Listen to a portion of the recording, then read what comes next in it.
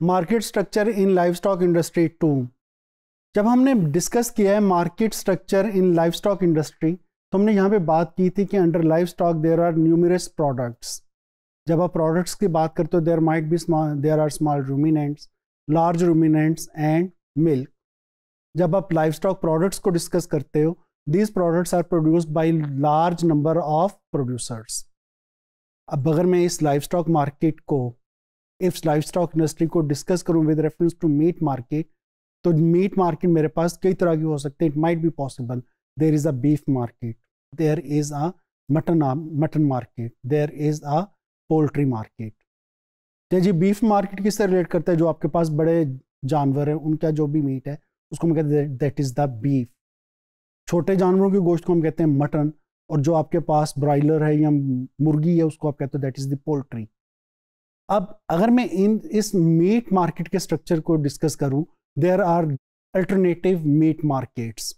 अब इस चीज़ को एलेबरेट करने के लिए सपोज़ मैं यहाँ पे ले रहा हूँ poultry meat market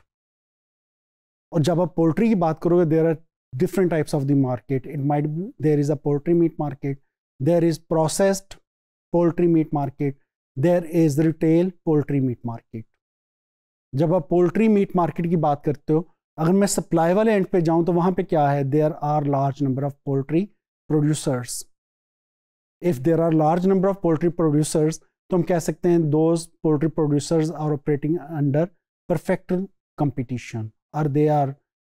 close to perfect competition. If poultry producers are active are are are in, in under the perfect competition, तो हम कह सकते हैं those poultry producers are price takers लेकिन जब आप डिमांड वाली साइड पे जाओगे तो अब मेरी यहाँ पे एजम्पन क्या है कि there are commercial processors of poultry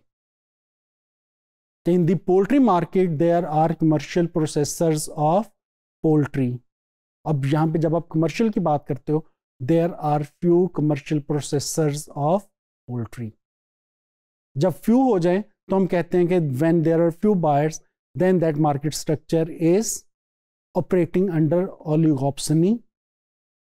और जो वहाँ पे कंपिटिटर्स हैं, हम उन्हें कहते हैं दोज आर ओलिगोप्सनिस्ट्स और these oligopsonists are price setters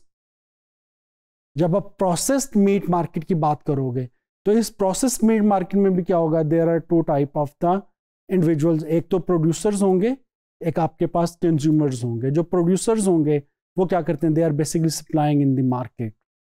और जो कंज्यूमर्स होंगे they are basically demanding for the they are creating demand in that particular market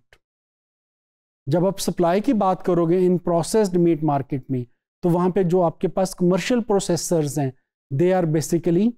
supplier of the poultry commercial processors of the poultry जब commercial processors की हमने बात की there are few commercial processors तो हम कहेंगे this market is operating under oligopoly और अगर वो ओलिगोपलिस्ट हैं हु आर कमर्शियल प्रोसेसर्स तो हम कह सकते हैं they are price setters they have some control over the price that prevails in the market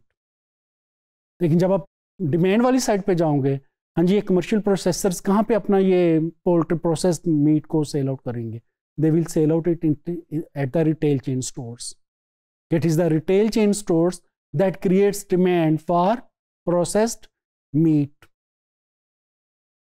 लेकिन जब आप इन रिटेल चेन स्टोर्स के नंबर को देखोगे there are few retail chain stores that are operating in Pakistan तो यहाँ पे हम इनको क्या इनको क्या कहेंगे? देज आर ओनली गॉप्सोनिस्ट के there are few buyers of processed meat at store level और इनको भी हम क्या कहेंगे? दीज आर प्राइस सेटर्स और जब आप बात करोगे रिटेल मीट मार्केट की तो वहाँ पे जो आपके सप्लायर्स हैं these are retail chain stores और हमने रिटेल चेन स्टोर्स को क्या कहा था? दीज आर ओनली के there are few retail chain stores तो जब आप सप्लाई वाले एंड पे होंगे तो हम कहेंगे they are operating under oligopoly they are oligopolist and if the retail chain stores are oligopolist तो हम कह सकते हैं दे आर प्राइस सेटर्स हाँ जी रिटेल चो स्टोर से कौन परचेज करेगा? कंज्यूमर्स के it is the consumers who create demand for meat meat at the retail level जब आप कंज्यूमर्स की बात करते हो तो हम वहाँ पे कहते हैं there are large number of consumers if there are large number of consumers then that market is operating under perfect competition और यहाँ पे जो आपका प्राइस होगी those consumers have no role in the determination of the price तो हम कह सकते हैं दीज आर प्राइस takers. हाँ जी, अब यहाँ पे ये जो मैंने तीन कॉलम्स आपको रिपोर्ट किए हैं, these three columns reports the structure of meat market under under different alternatives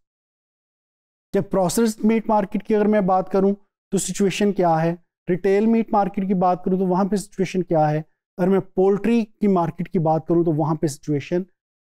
कुछ डिफरेंट है। जब आप यहाँ पे प्रोड्यूसर कहीं पे आप देखोगे ये जो प्रोड्यूसर्स हैं आपके पास, ये एक्ट कर रहे हैं under the perfectly competitive market और उसी मार्केट में जो आपके कंज्यूमर्स हैं they are acting under imperfect competition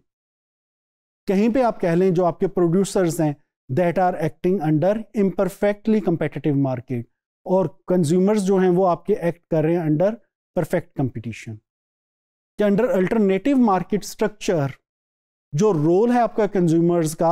और प्रोड्यूसर्स का, वो चेंज हो रहा है कभी वो परफेक्टली कंपेटिटिव मार्केट में चले जाते हैं, कभी वो इम्परफेक्टली कंपेटिटिव मार्केट में मूव कर जाते हैं depending upon the market conditions